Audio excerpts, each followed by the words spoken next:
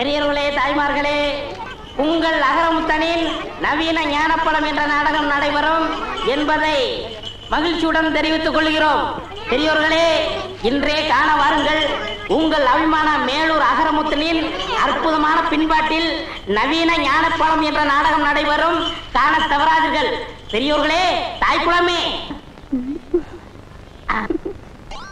கட்டழகு மங்கையர் கண்டுகளிக்க வேண்டிய நாடகம் நவீன ஞானப்படம். ஐயோ நேத்துக்கு நாடகத்துல முருகர் வேஷம் போட்டதே. நீங்க தானே? ஆ, நானே. மாமா? இந்த கலர் கொண்டு போய் அவர்கிட்ட கொடுத்துருங்க. கொடுத்துறேன். இந்தாங்க. கொண்டுடா நீயே ஒரு பேய் கலரு உனக்கெல்லாம் ஒரு கலரா? இத கொண்டு வர ஒரு. ஒரு அழகான ரசிகை ஒரு நல்ல சிறந்த கலைஞனுக்கு கலர் கொடுப்பதில் என்ன தவறு? ஓ சுத்த தமிழா? பல்ல புடுங்கி வெளியே எறிஞ்சிருவேன் தம்பி நான் அப்பவே சொன்னேன். நீ கேட்டியா? மாட்டுக்கு பதிலா இவனை கட்டு மைக்க என் கையில் கொடுன நீ தொழில மாத்துன நாய் தொல்லை கொடுக்குது. பாத்தியா? ஊர் மேய ஆரம்பிச்சிருச்சு. ஏய் மைக்க கொடுறாங்க. வண்டி ஓட்டுறா. ஹை சொர்ண விட்ட மாட. போயிட்டு வரேன் உங்களுக்கு என்ன வேணும்னாலும் சீட் எழுதி கொடுத்து அனுப்புங்க. ஏய் உள்ள போ. மயில். உ- உள்ள போ. நாயே. உனக்கு காது- உன்னை காது உள்ள போ. உங்களுக்கு பொறாம கிடைக்கல ஐயா நாருது கருமம். பெரியோர்களே தாய்மார்களே படித்தவர்களே படிக்காதவர்களே அன்பார்ந்த குழந்தைகளே பாமர மக்களே இன்று சுவாமி சங்கரதாஸ் தலைக்குள் வழங்கும் நவீன ஞானப்பழம் நகைச்சுவை நாடகத்தை கண்டுகளிக்க தவறாதீர்கள். மீண்டும் மீண்டும் தெரிவிக்கின்றோம். என்ன?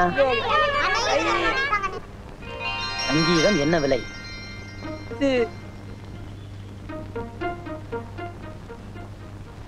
ம் போலாம். தாய்மார்களே நாடகத்தை காண தவறாதீர்கள். இன்றைய நாடகத்தின் முதல் பரிசு வெள்ளி குத்துவிளக்கு இரண்டாவது பரிசு தங்க மோதிரம்.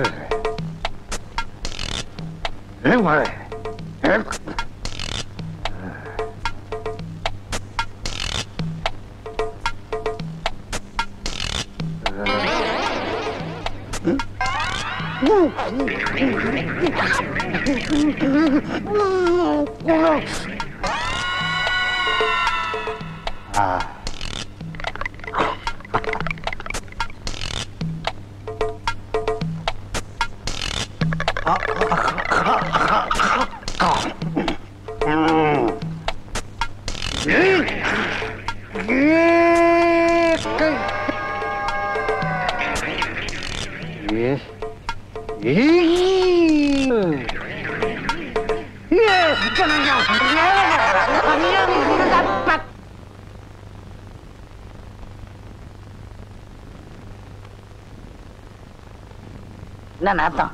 அடேங்க அப்பா. தேவலோகத்துல வர மாதிரி ஒரே புகை மண்டலமா இருக்கு. என்ன நீங்க தேவதாசா மாதிரி சுருட்டு குடிக்கிறதுக்கு என்னன்னே காரணம்?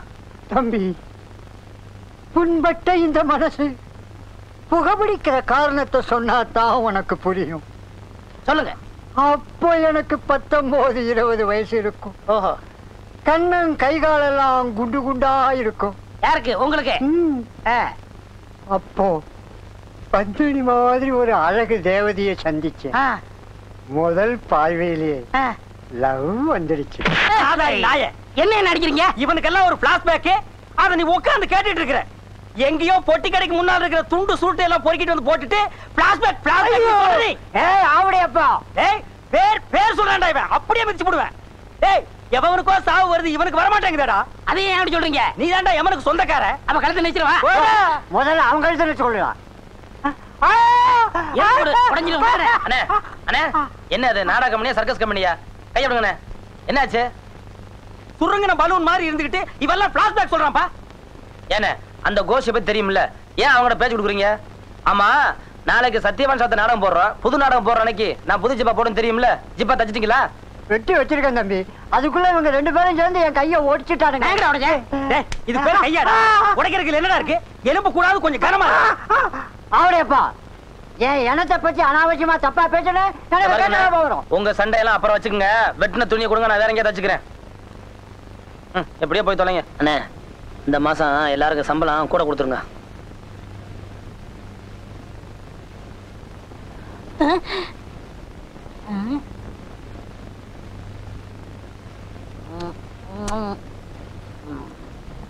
எடுற வாயில் ஏற்கனவே ஊர் மேயற.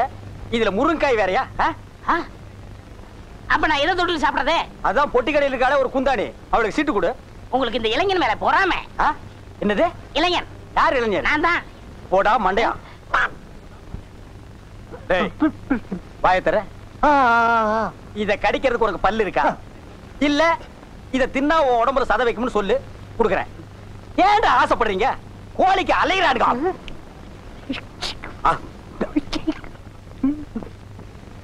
அண்ணே அந்த சாப்பாடு தொட்டு எடுங்கண்ணே. சாப்பாடு சாப்பாடு. சாப்பாடு இல்லாம என்ன மண்ணா? மத்தவங்களுக்கு வெயிடா கொடுக்க முடியாது. அண்ணே அவன் தான் கேட்கறான் எடுத்து கொடுங்க. என்ன தம்பி நீ பேசுறது? கறி குழம்புக்கு மூணு தடவை சாம்பாருக்கு மூணு தடவை மோருக்கு அஞ்சு தடவை. மொத்தத்துல ஒரு ஹோட்டலே வயிற்று கொண்டு இருக்கு. வாயை திறந்தா காக்கா ஒத்து. அண்ணே ஒருத்தர் நல்லா சாப்பிடறத குறை சொல்லக்கூடாது. உண்மையிலே சாப்பிட கொடுத்து வச்சிருக்கணும். அவன் தான் பசி பறக்க தெரியுமில்ல? எடுத்து கொடுங்க. என்ன வேலை எடுத்து சாப்பிடு. நேத்துக்கு ரெண்டு டைலாக் கூட்டானே அது யார் கேக்குறது? அண்ணே, எடுத்து கொடுங்க. நீ என்னடா? தம்பி சொல்லுதுண்ணே. டா இந்த கம்பெனி விளங்கிரும்டா மெதுவா சாப்பிடு. நான் எந்திரிக்கிறேண்ணே அதோ அந்த குழம்பு எடுமா குழம்பு சட்டியா? மூஞ்சில பத்து பேர் காரி துப்புக்குடா. விடுங்கண்ணே. என்ன விடுங்க இன்னைக்கு ஒரு முடிவு பண்ணிடுறேன். பொறுமை பொறுமை. வாழ்க்கையில ஏமாற்றம் வர்றது சகஜம். ஆனா கலைஞனுக்கு பொறுமை தேவை. நான் சொல்லிட்டு இருக்கேன். நீ சொல்லேன்டா ஆமா தம்பி. கலைஞர்களுக்கு பொறுமை ரொம்ப முக்கியம். என்னது முக்கியமா? தேவை. என்ன விடுங்க. இருப்பா. என்ன தம்பி? என்ன மாதிரி பலசாலியான ஆட்களை பக்கத்துல வச்சுக்கிட்டு நீங்க ஏன் கவலைப்படுறீங்க? இப்ப என்ன? உங்களுக்கு அந்த ஜிப்பா வேணும். அவ்வளவுதானே? நான் போய் இந்த பொண்ணுகிட்ட வாங்கிட்டு வந்துடுறேன். என்ன? அவங்க வீட்டுல போய் சலம்பல் பண்ணா பத்து பேரை கூட்டிக்கிட்டு வந்து அடிக்க வருவான் அவன் அப்பன். அத்தனை பேரையும் ஒத்த கையால ஊதி தள்ளிட்டு அந்த மிஷினையும் ஜிப்பாவையும் தூக்கிட்டு வந்துடுறேன். உத்தரவு கொடுங்க. ஒன்லி டூ மினிட்ஸ் இவெல்லாம் பேசுற பேச்சா இது? பேச்சுல ஒரு நியாய தர்மம் வேண்டாம். கீழே இறக்கலையா? என்னையா மிரட்டுறியா? நீ நினைச்சோன்னு அடிக்கிறதுக்கு நான் என்ன இவனா? என்னடா சொன்ன எங்க அண்ணன் தம்பிக்குள்ள ஆயிரம் பாசப்படப்புகள் இருக்கு அதை கேட்க நீ யாரா மேல விழுந்த உன் எலும்புலாம் உங்களுக்கு தேவையா அண்ணே கலைஞர்களுக்கு பொறுமை தேவை கலைஞர்களுக்கு மீண்டும் பொறுமை தேவை. நீங்க கொஞ்சம் பேசாம இருக்கீங்களா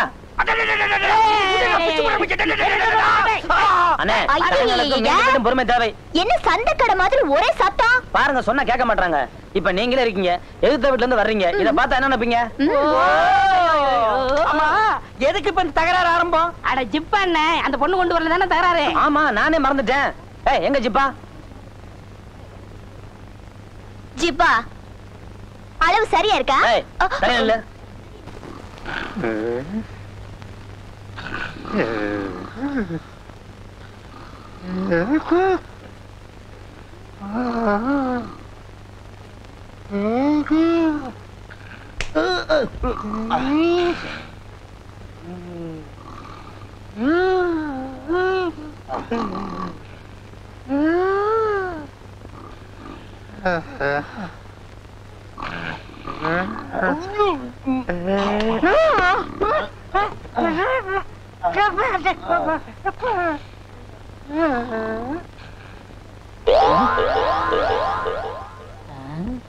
எல்லாரும் தூங்குறாங்க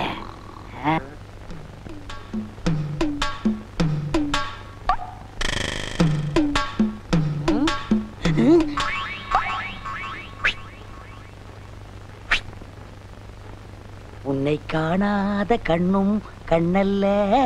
ஆ. ஐயோ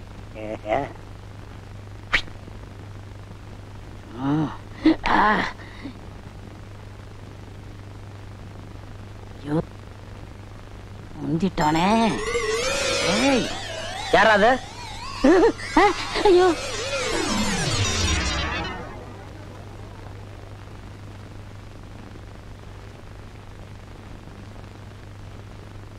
டாய் ஏய், தம்பி பொம்பளை பிள்ளைங்க படுத்திருக்க இடத்துல ராத்திரில உனக்கு என்ன வேலை? அது ஒண்ணு இல்ல தம்பி. இந்த பொண்ணுகள்லாம் கொசு தொல்லை அதிகமா இருக்குன்னு சொல்லிச்சுங்க. ஆ. அதான் தேடி பிடிச்சி அடிக்கலாம்னு வந்தேன். என்ன தம்பி அடிச்சிட்டீங்க? உன் கன்னத்துல ஒரு கொசு இருந்துச்சு கடிக்க கூடாதுன்னு அடிச்சேன். அப்படியா? என்ன நோப்படியா? டாய் உன்னை பத்தி எனக்கு தெரியாது. உன் கூட தானே அவர் இருக்காரு. என்ன இருந்தாலும் ஆவுடைய மாதிரி வருமாடா. அவரை பாரு இயல் இசை நாடகம் நடிப்புன்னு கண்ணும் கருத்துமா அதுலயே இருக்காரு. அவரை பத்தி ஒரு சின்ன தப்பு சொல்ல முடியுமானால யாரு? அவடைய பண் அவடைய பண்ணா ஆ. அந்த இயலிச நாடகத்தை இங்க வந்து பாருங்க. திருட்டு பூனை. நன்றாக பாருங்கள். அண்ணே நீங்களா? ஆமா. என்ன ஆமா? உங்களை பத்தி இப்பதான் பெருமையா பேசிக்கிட்டு இருந்தேன். ஆவுடைய பண்ணி ஏழு இசை நாடக நடிப்புன்னு எப்போதுமே கண்ணு கருத்துமா இருப்பாருன்னு. நீங்க என்னடானா இவ்வளவு கேவலமா இங்க வந்து படுத்துருக்கீங்களா? தம்பி நான் இங்க வந்து படுக்கலப்பா. இலக்கியத்துல ஏதோ ஒரு சின்ன குறை இருந்தது அது என்னன்னு கேட்டுச்சு. அதான் வந்து காதோட காதா சொல்லிட்டு போயிடலாம்னு.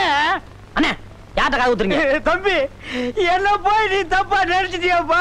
குரங்கு தன் குட்டி அடி வயித்துல கட்டிக்கிட்டு மலைக்கு மேல தாவற மாதிரி நான் இந்த குழந்தைகளை கண்ணு கருத்துமா காப்பாத்திட்டு வர்றேன். நீங்க சொல்ற நம்ம தயாரில்ல. ஏன்னு நாடகக்காரங்க நம்மளே இப்ப நடந்துக்கிட்டா மத்தவங்க நம்ம என்ன நினைப்பாங்க? இனிமே இந்த மாதிரி கட்டணத்துல இருக்கிறவங்க இந்த கம்பெனி தேவையில்லை நீங்க போகலாம். தம்பி நான் ஒண்ணுமே பண்ணல. வேணா அந்த பொண்ணுல கேட்டு பாரு. இல்ல யாரோ சொன்னது ஒண்ணு என்ன சொல்றேன். நீங்க ரெண்டு பேரும் பொட்டி எடுத்துட்டு உடனே கிளம்புங்க. சரி சரி. நடந்தது நடந்து போச்சு. இது உங்களுக்கு கடைசி வார்னிங் இனிமே இந்த பக்கம் வந்தீங்க. மனுஷன் வருவானா? நீ என்ன மிருகமா? ஆ, ஆ. நீங்க படுத்துங்க. ஆ, ஒரு சிப்பு வாழைப்பழம் இருபது ரூபா கையில விடு ஏண்டா துரோகி? இது என்ன பேங்கா? ஏண்டா கண்டவனுக்கெல்லாம் துண்டு சீட்டை கொடுத்து என் கடையவே காலி பண்ணிட்டியாடா. உன்ன ஒரே ஐயா, அவசரப்பட்டு வெட்டிடாதீங்க. பண்ணி சாகாது. பண்ணி எல்லாம் அறிவாளால வெட்டக்கூடாது. நல்ல ஒரு மொக்கைய கட்டை எடுத்து இந்த இடத்துல பொட்டுன்னு அடிச்சா பட்டுன்னு செத்துரும் அப்படியா? கட்டை எடுக்கணுமா பேசாத நானும் பண்ணாத அறிவாள அந்த பக்கம் திரும்புங்க. ஆமாங்க. யார்கிட்ட சொல்லு? கஷ்டப்பட்டு என் பொண்ணுக்கு கடை வச்சு கொடுத்தேன். ஒரு பத்தாயிரம் ரூபாய் பணம் சேர்த்து என் பொண்ணை எவன் கையிலையாவது ஒப்படைக்கலாம்னு இருந்தேன். இந்த பாவி சீட்டை கொடுத்து அனுப்பி கடையை காலி பண்ணிட்டான் என் பொண்ணு கல்யாணத்தை எப்படி நடத்துவேன் வெரி சிம்பிள் இந்த பண்ணிக்கு அந்த பண்ணி குட்டிக்கு தாலிங்கிற ஒரு கனெக்ஷனை கொடுத்துட்டா மேட்டர் ஓவர் ஆ, அவடையப்பா நேரம் பார்த்து காலம் வர்றியா? இதை நான் ஒத்துக்கிற மாட்டேன். நான் ஒரு பரதநாட்டியம் தெரிஞ்ச பொண்ணத்தான் கல்யாணம் பண்ணுவேன்னு சபதம் எடுத்திருக்கேன். ஆ, வாழைப்பழத்தை வாயில வச்சு அமுக்குனியே அதுக்கு முன்னாடி எடுத்திருக்கணும் இந்த சபதத்தை. நம்ம இந்த ஊருக்குள்ள நுழையும் போது ஃபைவ் ஸ்டார் ஹோட்டல் மாதிரி இருந்த இந்த கடைய பரதேசி போய மட மாதிரி ஆக்கிட்டியடா. இந்த கூந்தல்ல வச்சு தேய்க்கிறதுக்கு கொஞ்சம் விளக்கண்ணையாவது வச்சியா? அத கூட நக்கிட்டியடா. பாருங்க காலம் கடந்த ஒரு கன்னி பெண்ணு கண்கலகி நிற்பதை பாருடா. என் மனது துடிக்கிறது. தாலி எங்கே? எங்கே தாலி? தம்பி ஆபத்துக்கு பாவம் இல்ல. மோதிரம் மாத்திக்கலாம்ப்பா. எத்தனை பவுன் மாமா? அலையறான் பாத்தியா அடகு வைக்கிறதுக்கு. நான் விட மாட்டேன் முதல்ல நர கை தேடுறா நான் கட்டல. நீங்க கேட்டீங்களா தாலி தயாரா வச்சிருக்கேன். வாங்கி கட்டுறா. என்னடா முறைக்கிறா? கட்டு! இல்லனா ஒரே வெட்டு! கட்டிடுறேன். ஓ மை காட் இப்படிலாம் என் வாழ்க்கையில் நடக்கும்னு நான் எதிர்பார்க்கலையே. இவர் பெரிய எடின்பர கோமகன். 56 தேச ராஜாக்கள் வந்ததுக்கு அப்புறம் தான் இவர் திருமணம் நடக்கும். தாலிய கட்டுறா நாய. ஐயர் இல்ல நான் அம்மி மிதிச்சு அருந்ததி பார்க்கணும். இவன் லொள்ளு ரொம்ப ஜாஸ்தி ஆகி போச்சு. அந்த அருவாள் கொண்டாங்க வெட்டி போடுறா, கட்டுறா நாய.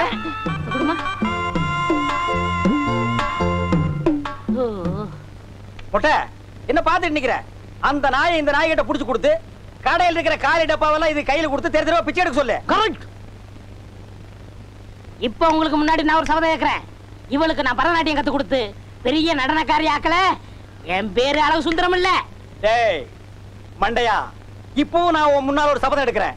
பத்து கோடி ரூபாய் செலவு பண்ணி பத்தாயிரம் நட்டுவனார்களை கொண்டு வந்தாலும் இவளுக்கு நீ பரதநாட்டியம் கத்து கொடுக்க முடியாதா? அப்ப பாப்பமா. அப்ப என்னடா பாக்குறது? இப்பவே பாத்துருவான் என்ன அது மடிச்சு கொண்டு வராரு. பின்ன என்ன பண்றது? ரெண்டு காலம் இல்லாத பொண்ணை மடிச்சு தான் கொண்டு வருவாங்க. என்ன மோசம் பண்ணிட்டீங்களே? நான் மாட்ட வேண்டியது இடையில நீ கிராஸ் ஆயிட்ட. உங்களுக்கு எப்படி தெரியும்? போன வாரம் சீட்டு கொடுத்துட்டியே அப்பவே நான் எட்டி பார்த்துட்டேன். ரெண்டு காலம் இல்லைங்கிறது. டேய் இனிமே நீ தில்லானா கத்துக்கூடு? குச்சிப்பூடி கத்துக்கூடு? பரதநாட்டியம் கத்துக்கூடு?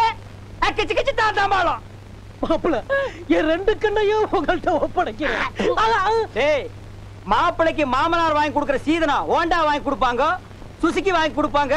உனக்கு ஃபோர் வீல்ஸ் மேட் இன் மொட்டேஷ் ம் நடக்கட்டும்.